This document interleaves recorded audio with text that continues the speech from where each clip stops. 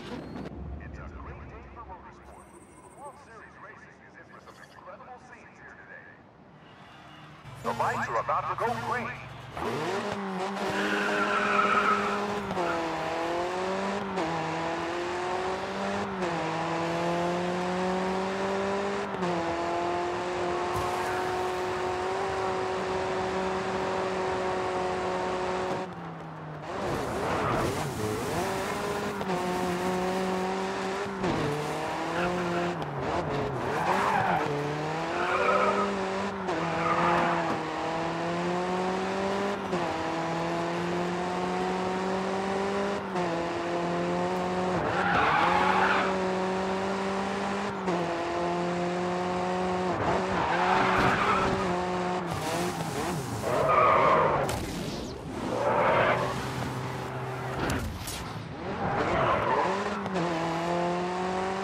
Oh, no.